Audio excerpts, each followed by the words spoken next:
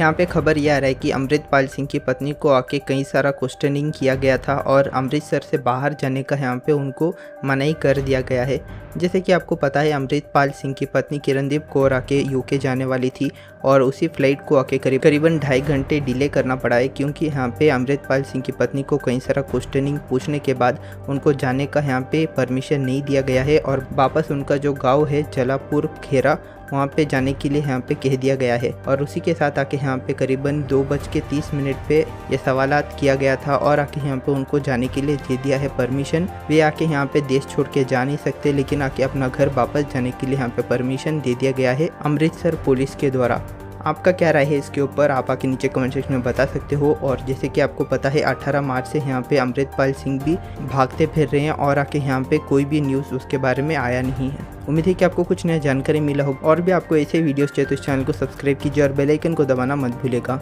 मिलते अगले वीडियो में। Thank you for watching this video guys thank you